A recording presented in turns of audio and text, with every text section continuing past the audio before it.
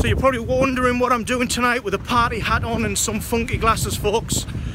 Well, today's the day I cross the 1,000 mile barrier, leaving 9,000 miles of my challenge left to do.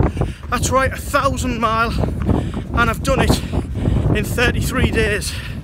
I started off this journey 33 days ago in the wind, the rain, the hail, the snow, and folks, I'm back. This is exactly where it started 33 days ago.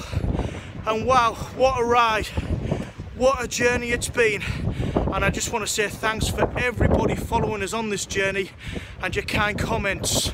Rock and roll everyone. Storm Doris, eat your heart out. I'm coming to get you.